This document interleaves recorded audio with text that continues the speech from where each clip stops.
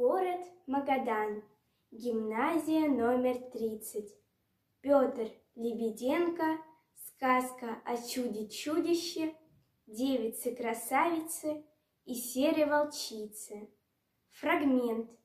Читает Ульяна Полякова. Надела на себя рубашку-кольчушку Светланка, Простилась с красной девицей И скорее в путь обратно пустилась. Идет, думу думает, Как поскорее тихий дон от горя избавить, Людям радость и вольную волю волюшку вернуть. Идет, идет, смотрит, на дороге лежит волчица, ее поджидает.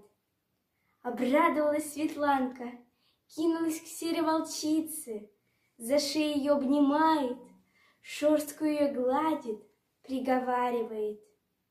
Здравствуй, серая волчица, соскучилась я по тебе, как по сестре родной. А серая волчица тоже обрадовалась, смотрит на Светланку, и глаза ее радостью светятся. Села Светланка на волчицу и помчалась к тихому дону. А в то время жестокая битва шла меж казаками и войском чудо-чудище. Храбро дерутся казаки донские — но не устоять им перед страшной силой чудо-чудища. Свистят в воздухе их сабли острые, летят на земь головы разбойничьи, а чудо-чудище в стороне стоит, ухмыляется. Скоро, мол, конец тихого дона будет. Да недолго пришлось радоваться разбойникам. Примчалась вдруг на сере волчица — Девица-красавица, косы от ветра ее развиваются, Рубашка-кольчушка серебром на ней блестит, А в руках грозная палица волшебная.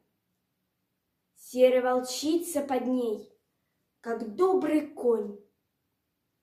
Слезла Светланка с волчицы, Поклонилась в пояс своему батюшке — всем людям ратным. А потом подняла над головой палицу и проговорила. Палица, палица, вольная удалица, За русская волюшка, вольная раздолюшка, Разгроми врага, сокруши врага. Сказала она так и помчалась прямиком на войско чудо-чудище. Ударит палицей влево, катятся десять голов разбойничьих.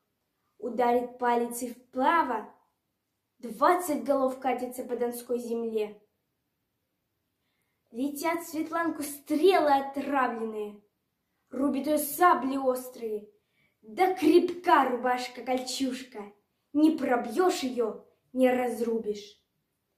Попятились полки чудо-чудища, а само оно вперед бросилась, держа в каждой руке по сабле. Увидела это Светланка, подняла над головой пальцы, ударила раз, другой, двух голов чудо-чудища как не было. Струсила чудо-чудище, бежать хотела, да не тут-то было. Светланка еще раз ударила палицей, Семь голов чудо-чудища лежат на Донской земле. Слезла Светланка с волчицы, обняла ее и сказала, Спасибо тебе за службу твою, не забывай меня, приходи ко мне к тихому дону. Тут и батюшка Светланкин подошел к ним, а за ним и весь народ — Обнял Светланку отец и сказал, «Ведомо нам, дочка, что уходить тебе надобно от нас к тихому дону. Сослужила ты большую службу народу своему, и долго он тебя помнить будет. И ты помни о своем народе, не забывай о нем, ни в горе, ни в радости. Посмотрела Светланка на отца и ответила. Не печальтесь, батюшка, что уходить мне надо от вас. Хоть и буду жить я сто лет в рубашке-кольчушке, а сердцем всегда с вами буду. Сказала она так и превратилась в маленькую рыбку. Взяли ее люди на руки и отнесли к тихому дону. А серая волчица еще долго-долго лежала на берегу и печально смотрела в воду.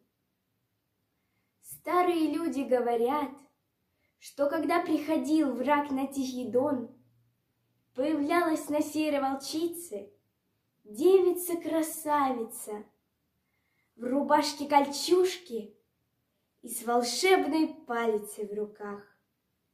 И бежал тогда враг с Тихого Дона.